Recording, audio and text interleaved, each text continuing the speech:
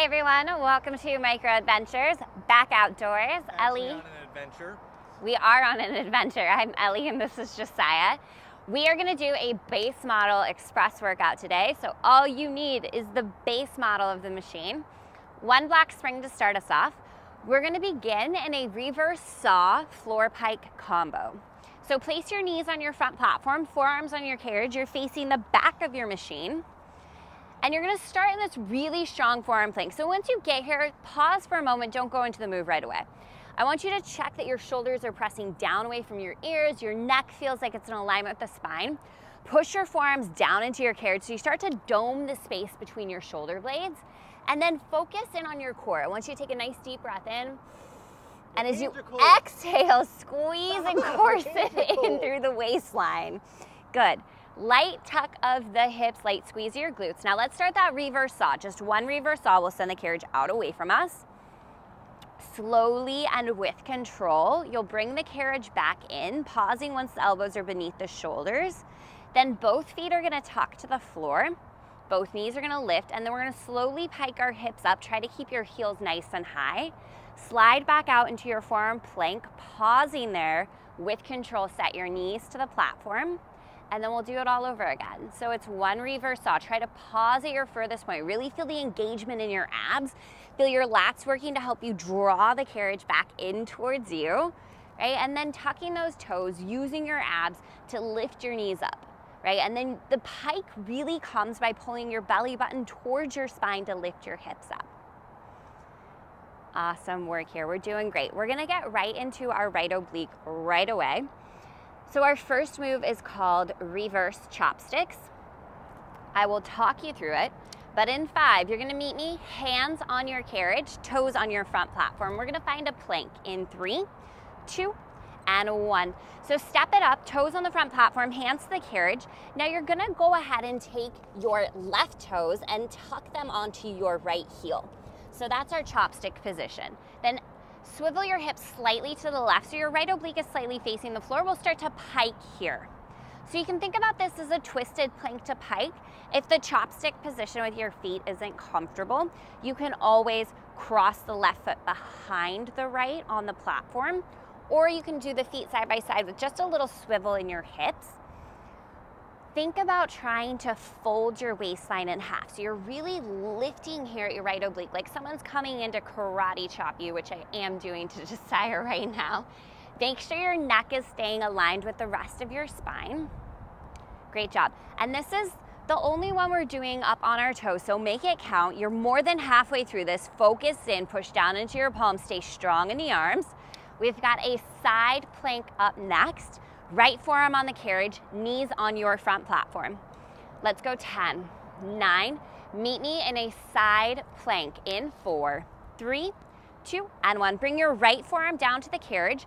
Knees are stacked on your front platform. This is where we're gonna start in a kneeling side plank. I want you to push down into your right forearm, lift your right oblique away from the floor. Now we're gonna go ahead and float our left leg up. We're gonna take our left arm overhead, left bicep by your ear. Good. From here, keep lifting the right oblique away from the floor. We're gonna do a little reach and pull. So elbow and knee coming together, and then reach and lengthen out. Now your right oblique is working super hard here to stabilize your body. Keep pushing your right shoulder away from your right ear, both shoulders stacked over your elbow. And if you need a little bit more intensity, you can try this one up on the toes. Nice tempo here, Josiah. Really try to get some stretch and length on the way out. You've got 15 seconds here. We're gonna meet both forearms on your carriage. It is a reverse twisted saw. We're gonna finish off that right oblique in four, three, two, one. Both forearms down to the carriage, both knees on your front platform. It's a twisted saw, so our right oblique is still facing the floor just a smidge. We'll start to send the carriage out slowly and with control. Pause at your furthest point. Really feel your right oblique fire and draw the carriage back in. So we want just enough swivel in our hips that you feel the work in your right oblique. Now that being said, if you really open up the hips a lot, you might start to feel tension in your lower back. So just know you can always take a little bit of that twist out. Plug your shoulders back into their sockets, really drive your forearms down into the machine so you're actively lifting your right oblique away from the floor the whole time. Lengthen out your neck. Your neck is the continuation of your spine. In four, take it out and hold. In three, two, take it out, hold. Now give me a little one inch pulse, in an inch, out an inch. Find the squeeze in your right oblique. 10 seconds, we stand up, it's escalator lunge right. Right foot's gonna step forward to the carriage, keep facing the back. In three, two, one, stand it up. So both feet are on your front platform, you're facing the back of the machine. Right foot steps in the center of your carriage. Left toes are gonna tuck as far to the left as you can get them. And we're gonna lower down into escalator lunge. I need you to pause when you get to the bottom. So we're gonna do escalator lunge with a carriage kick. You're gonna kick the carriage out away from you. Bring it back in, pause. Heel is right below your knee. Now drive through your right heel, slowly begin to lift it up two. Nice and slow, three. All the way up on four. There's still a micro bend in your knee, take it right back down. And as you come down into this, you want to gently start to hinge forward from your hips so that your spine is staying aligned. Little carriage kick at the bottom, and then we go back to the lunge. So this is our first combination. It is escalator lunge with a carriage kick. We've got just 15 seconds like this. I should mention it is entirely possible that a train might roll through while we film today, and I'm not gonna edit it out, so I just want you to be mentally prepared for the level of noise that could occur. Bring it on down, escalator lunge and hold right here, okay? We're changing our variation. Give me one moonwalker. Freeze your right leg, bend through your left knee. Good. Now extend back out with the left leg. You're staying low in the right leg. Now go back to your lunge, lift up. So every time you come down into escalator lunge, you're gonna go one moonwalker. That's our new variation. Good, take your time. Check in that your right knee is still aligned over your heel. The knee's gonna wanna drift forward towards your toes. Don't let it. Even an inch can start to, over time, really cause a lot of pain in your knee joint, right? And I want you to keep your knees super safe. You need them for the rest of your life. So Let's stay focused on keeping that knee right over the heel. A lot of dig down through your right heel is gonna help you activate your right glute. Nice job here, Josiah. I'm loving the tempo today. You're looking so strong. We've got just about seven seconds. We're changing the variation. In five, bring it down and hold. In four, three, two, bring it on down, hold. Listen, one carriage kick, kick the carriage away from you, bring it back in. Now go one moonwalker. Bend through your back knee, lengthen back out, and then lift up out of your lunge. Someone is riding by on a bicycle shaking maracas right now. I don't know if you can hear that or not, but Portland is a very weird city. Bring it down. One kick, one moonwalker. Right, this is the thing about how we run our classes. They are live. We don't go back through and edit them. So I might make a mistake, something crazy could happen, Josiah can make a mistake, but that's real life. Possible. Oh, Josiah says he makes no mistakes. He never faces the wrong direction or gets in the wrong move Never. ever. Good job. You can tell by all my videos. Down into your lunge, hold. Right here, this is your final 10 seconds. We are going one red, one black, skating, right foot on your front platform. In four, three, two, and one. Lift it up one red, one black. You're gonna step your right foot onto the front platform, your left foot onto the carriage. Your right foot on the front platform. Ah, see? Yeah, never makes a mistake. Let's go skating. So you're gonna sit down halfway into a squat here. Start to send the carriage out with the left leg and then resist back in. So what I wanna see in skating is that your weight is back in your heels, which means you're drawing your hips back behind you and then I want you to focus on knitting your low ribs together, right? So the lowest part of the ribs, think about them sliding in towards one another. And that's gonna really help you keep any tension out of your low back. So focus on the abs staying really strong. And if you have a mirror beside you, what you're kind of looking for with your spine would be a diagonal line from the crown of your head back through your hips. I want you to focus in on sealing down the outer edges of your feet here and driving your heels down into the equipment. Now your left leg is resisting and pushing the carriage out, but your right leg is our focus, right? So I really need you to focus on driving your right foot down into the platform the entire time. In four, send it out and hold. In three, two, send the carriage out, hold. Don't lock out your left knee. Now really recommit to your right foot, ground your right heel down into the platform. See if you can drift your hips back one more inch. We're gonna pulse the carriage out an inch and in an inch. Slow and with control, feel your right leg work to resist the carriage with the left. You're here for eight, seven, six, five, four, three, two, freeze. Send the carriage out a little bit further. Now resist it in slowly and with control. Stay in your skating. Roll your shoulders back. See if you can shift your hips back just a little bit more. Really get your weight back into your heels. Drive your right foot down into the machine. You've got 30 seconds. Recommit, low ribs knit together. We're gonna keep this transition super simple. It's gonna make a quarter turn to your right, and we're gonna set up for runner's lunge. Right foot stays on the front platform, left foot stays on the carriage. Set this up any way that it feels best in your body. You've got 10 seconds. See if you can sit a little lower, go a little slower. In five, four, runner's lunge. In three, two, and one. So quarter turn to the right. Set yourself up. So that means your right foot can be on top of the right on top of the platform or your right foot can be on the floor in front of the platform. So whatever's more comfortable for your right foot is what works for me. Start go kicking the carriage out, Josiah. You're in runner's lunge. Good. Now, left toes, you've got some options. If your legs are a little bit longer, like Josiah's, you might want to tuck your left foot closer to the back edge of the carriage. That'll give you a little bigger range of motion, a little less intense spring tension. And if you're on the shorter side like me, what up, guys? Um, you're gonna take that left foot to the front edge of your carriage, right? Maybe into that little nook between the rail and the carriage padding. Good, or if you just need some extra resistance, right? Toes at the front edge is gonna get you a lot more. Now, when it comes to positioning, if you could bring your hands to your outer glutes, right? I want you to make sure that your hips are level right? So give yourself a little self-adjustment. What's gonna tend to happen is that right hip wants to lift a little higher than the left. So you're just gonna go ahead and lower it down. Hips are level. Knit your low ribs back in together. And then the focus again is our right leg. So we're staying as low as we can in the right leg the whole time. And your right leg is resisting the tension of the carriage that the left is kind of pushing around. I want you to focus on an active drive of your right heel down into the front platform. In four, back knee in under your hip in three, two, one, back knee in underneath your hip. From here, keep the carriage still. We're going split squats. Sink down as low as you possibly can. Drive through your right heel, squeeze your right glute, rise up. Keep a micro bend in your knee at the top. We're keeping the tension in the muscles because this is what makes our workout more effective.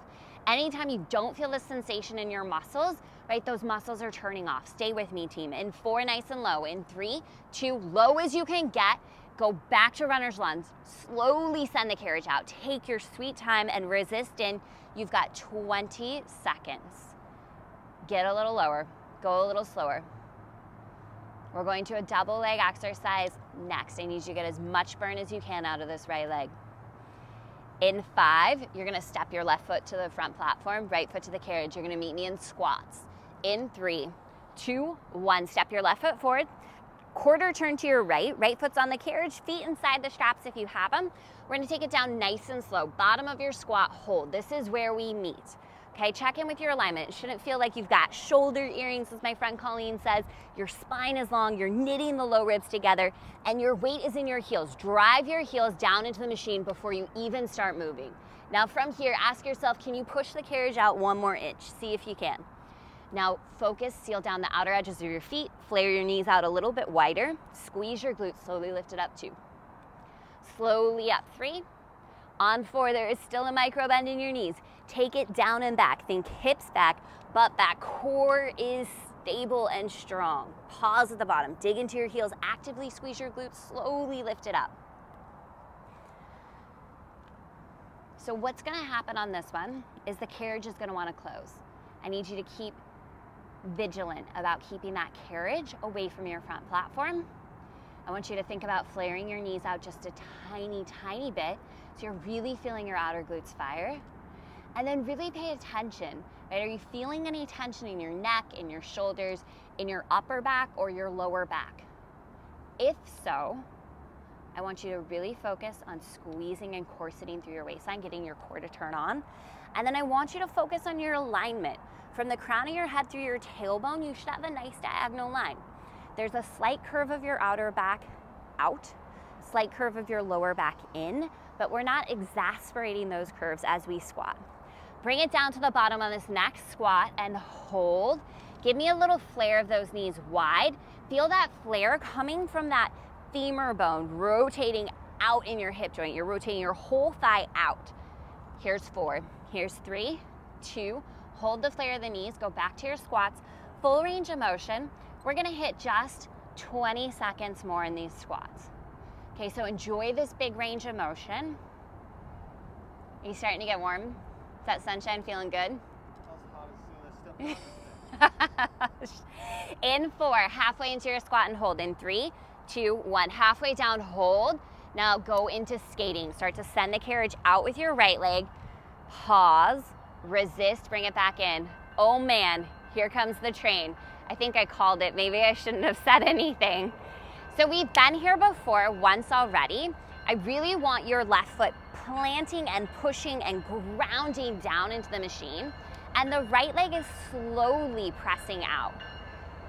So focus back in, low ribs knit together, shoulders away from your ears, and breathe, right? And know that life is gonna throw you distractions. I know you guys are working out at home. I know you got kids and dogs and people crawling all over you while you're trying to do this class. Likewise, we gotta train, right? In four, send it out and hold. In three, two, send the carriage out, hold. Keep a micro bend in your right knee. Now pulse it out, one inch, in one inch. Focus on grounding down through your left heel and resisting the tension with the left leg. Out an inch, in an inch. For four, for three, two, one, full range of motion. Slide those shoulders down, knit your low ribs together. Stay focused, stay with us. Right? You made it this far, you already completed your first leg. You cannot give up on the second leg, otherwise, you're gonna walk out of this class feeling totally uneven. So take some deep breaths, tell yourself the truth, which is that you got this, right? And that you showed up to this class for a reason. There is something that you are gonna take away from this experience that is exactly what you need today. You've got 15 seconds. Simple transition. It's a quarter turn to the left. We're going runner's lunge, side two. In five, give me runner's lunge, side two. In four, three, two, one. Quarter turn to the left. Left foot is on the front platform or on the floor in front of your front platform. Right toes are gonna tuck on the carriage. We're gonna get low in our left leg to start. We're gonna freeze the left leg. And then the right leg is slowly sending the carriage out, slowly resisting back in. Now, where you place your right foot makes a difference, okay? If you need more resistance, I need your right toes closer to the front edge of the carriage. If you need less resistance, your right toes are gonna come towards the back edge of your carriage. And find some place to set yourself up where you can get your feet hip width apart, right? So that means it does not feel like you are walking a tightrope. That's gonna help you so much with your balance here. Good, now let's really focus in on trying to find that golden angle in your left leg, right? Golden means our thigh is parallel to the floor and we've got a 90 degree bend in our left knee. That is gonna be the most effective place we can get, right? And you might only be able to hold it there for a few seconds. That's okay. Do not stand up and shake it out. Do not undo your work. We're gonna stay as low as we can. In four, back knee under the hip. In three, two, back knee in under the hip. Freeze your carriage. Now sink it down as low as you can. Drive through your left heel, slowly lift up. We're going split squats. Down and up, slowly and with control. Stabilize your carriage. Focus on that burn in your right quad and in your left glute. Those are the two places you wanna feel this. Shoulders back, chin off your chest, eyes up like you got this. Take it down low in three, hold it down in two, one, down, hold, runner's lunge. Stay low, stay focused. You have 25 seconds left in runner's lunge. We go back to one black spring, escalator lunge. We'll be facing the back of the machine. Left foot is going to be on top of your carriage. You've got 15 seconds. Get a little lower, Go a little slower. Core is tight. Shoulders are back. Let's go five. Let's go four, three, two, one. Change those springs. One black spring. Both feet on your front platform facing the back to start. You'll step your left foot into the center of your carriage. Good. Right toes are gonna tuck on the right hand side of your front platform. We'll come down into escalator lunge and hold. From here, give me one carriage kick. You're gonna slide the carriage out away from you, and then we'll back in and we'll slowly lift up. So one lunge, one kick at the bottom of each lunge. Bring it down, hold, pause, send the carriage out away from you, heel back under the knee, drive through your left heel, slowly lift it up. I need you to focus in on the movement in your body. It is taking every ounce of my focus to stay tuned into this exercise right now. I need you to do the exact same. Soften your shoulders, focus on your form. The left knee stays over the left heel the whole way down. Then we slide the carriage away from us. And then the heel comes back under the knee. We drive through our left heel. Knee stays over the heel the whole way up. Jiminy Christmas. On this next one, take it down, hold. Let's go one moonwalker. So you're bending through your back knee. We extend back out, bottom of our lunge, and then we lift up slowly and with control. That is your new variation. One escalator lunge at the bottom of every lunge, one moonwalker before you come up. This is the train that goes on forever, Josiah, Hey, we were lying when we said micro adventure. I don't even know if they can hear you.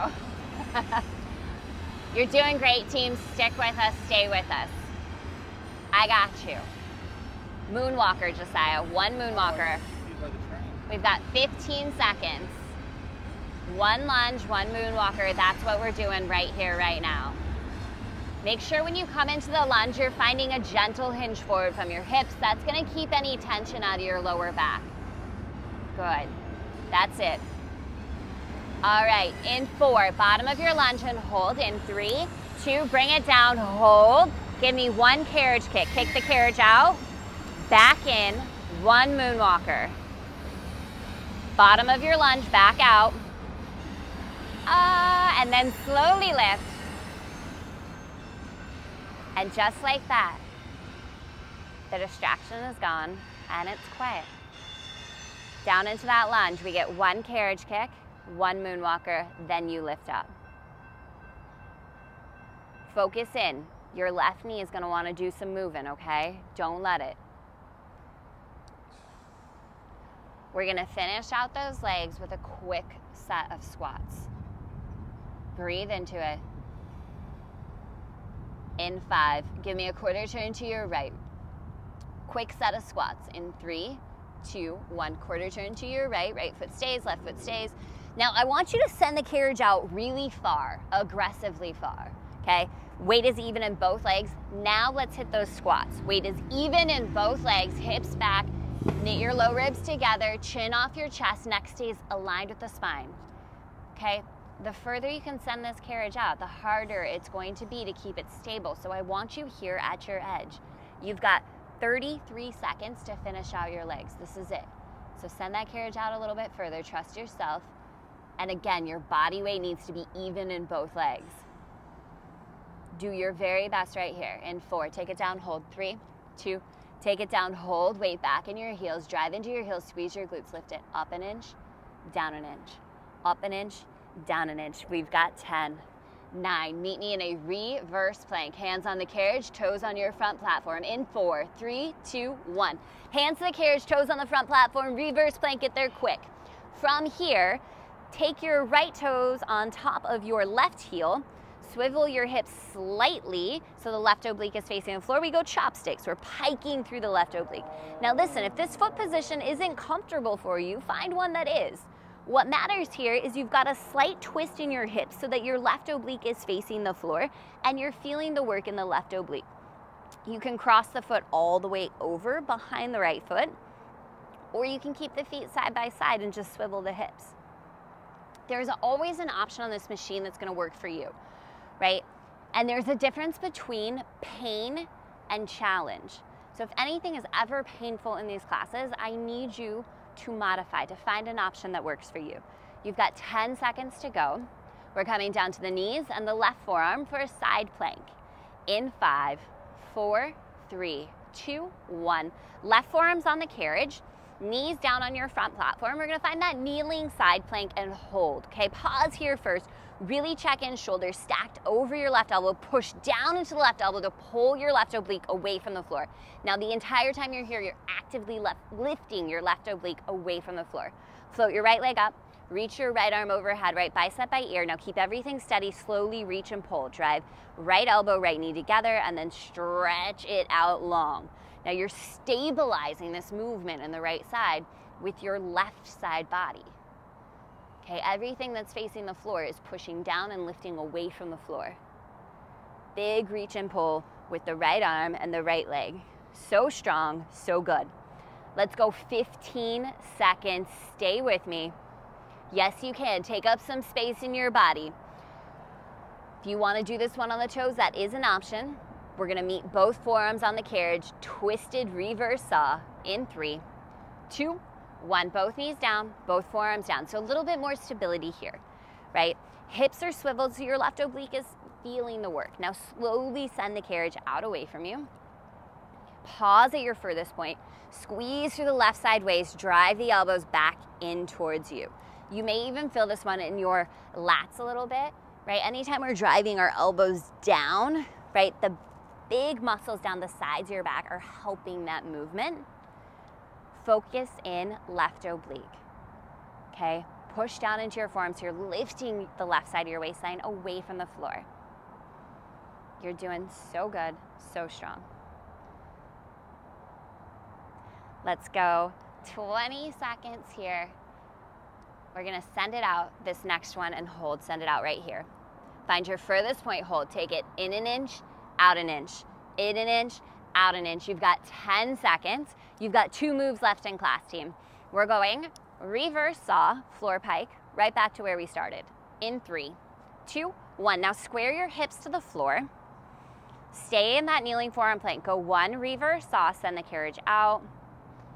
Slowly bring it back in. Pause with the elbows beneath the shoulders. Tuck both toes to the floor. Lift the knees. Slowly pike it up. Sliding into the plank with control and really with control, set the knees down slowly. So this is our second to last exercise, right? And I'm so proud of you.